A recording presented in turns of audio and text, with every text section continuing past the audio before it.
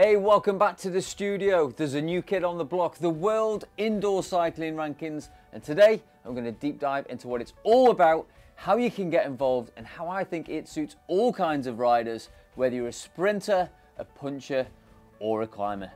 So let's dive straight in.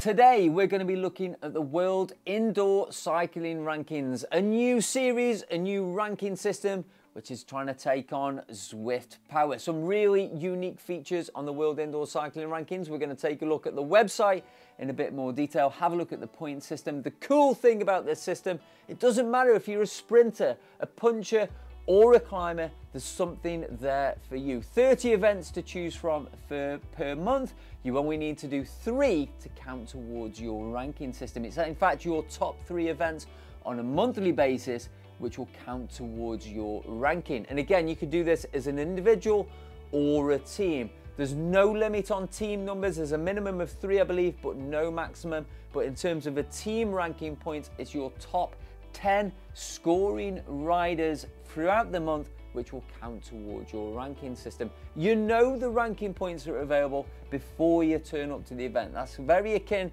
to the British cycling way of doing their points for the road racing there. And I think that's really, really cool. And again, there are three level of events, bronze, silver and gold. Bronze events being 15 to 20 minutes long, silver around 30 to 40 minutes and the gold events tend to be 60 to 70 minutes long. And again, with each one of those categories, there's a sprinting option, a point option, or a climbing option. So there really is something for every style of rider.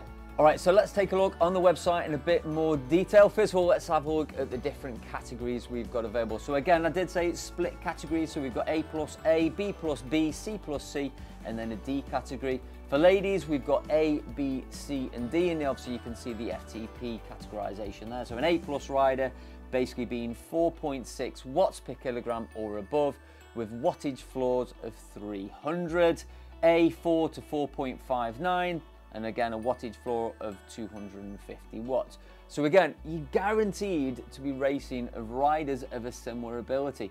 And what I mean, again, just to emphasize the fact that I'm not a big, big sprinter, I'm more of a punching rider. So again, I can choose a race or an event which suits my ability as a puncher, and I'm not gonna be there categorized with the big 15 to 16 watt a kilo sprinters trying to earn those points. All right, so let's take a look at the events and the ranking points and how that pans out. So basically the way they've done this is three levels of ranking points. And again, you've got a bronze, silver or gold. And again, those are levels of races. So the bronze races typically are gonna be 15 to 20 minutes long. The silver events, 30 to 40 minutes long approximately. And the gold events, earning maximum points of a thousand points there for the winner, 60 to 70 minutes long. And again, with each one of those categories, you've got a bronze climbing, sprinter, puncher, silver, climber, sprinter, puncher, and gold the same way that's split. So again, you can do a climbing course if you want to. I think the first one round is Lorraine, for example, in France. It's a gold level race with a maximum point of a thousand points across the finish line there. It is worth highlighting there are also fastest through segment points, additional points available on these particular courses. So let's head over and look at the schedule which I said starts in the 1st of November. Basically, it's a weekly schedule. So November the 2nd to the 6th, we do Wednesday, Friday, and Sunday. We've got Innsbruck, we've got the Chain Chomper, and then we've got Lady Liberty there.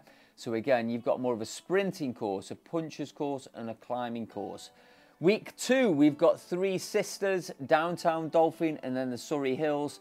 And then the final week, the 16th to 20th, these are the gold level events. You've got Lorraine, so taking on the Ven top climb there. We've got the World's Harrogate Circuit, three laps of that, so taking in the punchy Yorkshire KOM.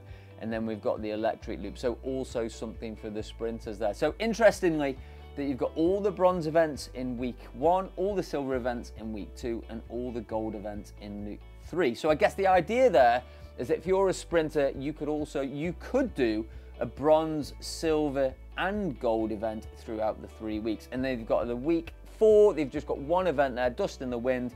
Again, maybe that's a makeup event if you've had a holiday or you've missed a week's racing.